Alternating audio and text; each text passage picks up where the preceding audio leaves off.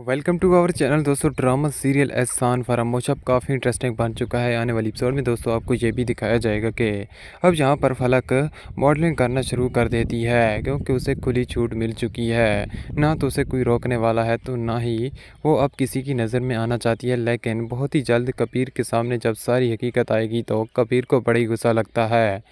यहाँ पर वो फलक को साफ़ साफ़ मना कर देता है कि जो तुमने ये काम स्टार्ट कर दिया है, ये बिल्कुल भी मेरे पसंद के मुताबिक नहीं है, तुम्हें ये अभी छोड़ना होगा। फलक साफ़ मना कर देती है कि ये उसकी पसंद है और फलक मॉडलिंग करती हुई बहुत ही ज़्यादा मशहूर हो जाती है।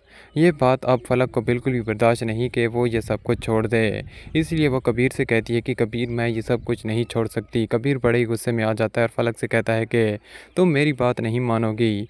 तुम जानती हो कि मेरा रिश्ता क्या है? तुम्हारे साथ मैं तुम्हारा शोर हूँ और तुम्हें यह बात मानना ही होगी।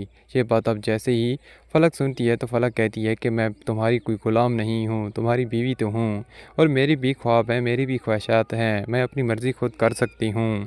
यहाँ पर कबीर को बड़ी गुस्सा आता है और वह उसे घर से धक्के देकर निकाल देगा। दोस्तों, यही वजह है कि अब फलक अपनी वैल्यू खुद ही कबीर की नज़रों में गिरा दी गई और आगे चलकर हो सकता है कि कबीर फलक को तलाक दे दे। फलक को जो खुद पर इतना मान था आखिरकार एक ही पल में ये सारा मान टूट जाएगा लेकिन दूसरी जाने बाब नवाल का रिश्ता भी तो हमज़ा के साथ हो, होने वाला है।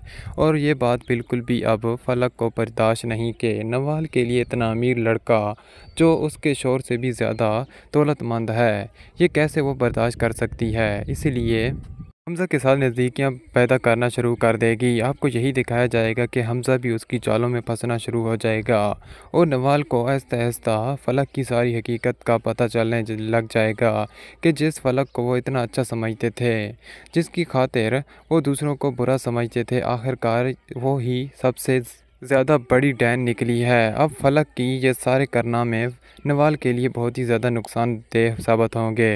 यहाँ पर हमज़ा भी बेवकूफ़ बन जाता है, वो भी फ़लक की बातों में ही आ जाता है और ऐसा ऐसा फ़लक के साथ नज़दीकियाँ बढ़ाना शुरू कर देता है। और जैसे ही नवाल के सामने ये सारी हकीकत आएगी तो नवाल ये बात बिल्कुल भी बर्दाश्त नहीं कर पाएगी।